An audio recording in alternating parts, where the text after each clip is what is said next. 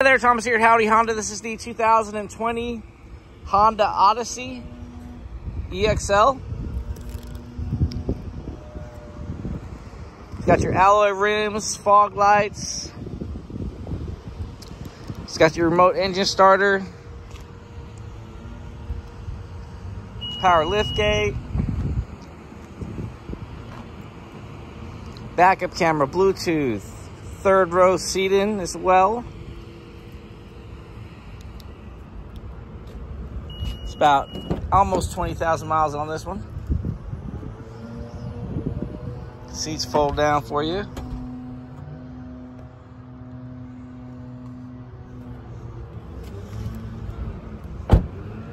Got your keyless entry, blind spot indicator, rear cross traffic alert, memory seats, obviously power on both sides, sunroof, Apple CarPlay, Android Auto, Bluetooth, traction control.